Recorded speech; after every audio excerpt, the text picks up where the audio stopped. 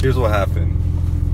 I installed the lower half of my aero grill that I've been waiting to do for like ever now, probably like three weeks, four weeks. Um, I went out and bought a Dremel to put it in, and I edited the video. It was a pretty good video actually.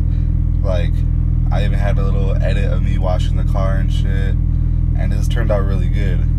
Like, I was pretty happy to upload it, especially because no one really tells you how to put on the aero grill. I mean, the one that I got, it was the wrong one, but okay, so mine was for an aero bumper, and the one that was for my bumper only came in gloss black or chrome, and I wanted uh, that trim color black, you know, just a straight plastic.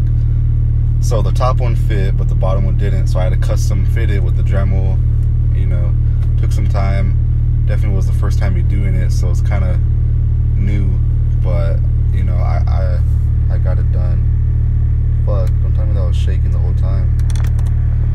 Well, if you've seen that shit shaking, it's because my car has a polyurethane lower motor mount. Um, hopefully you can hear me well. So yeah, sorry about that. Um, honestly, just get the Dremel, cut out the hole.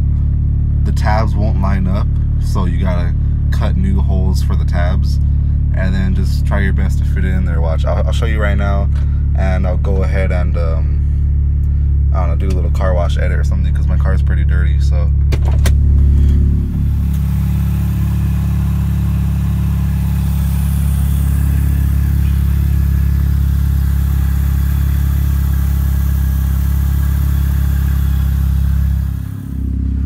So yeah, so you see how the uh, bumper sticks out on the edges. I'm not sure if the aero bumper is like, what do you call it? Recessed more.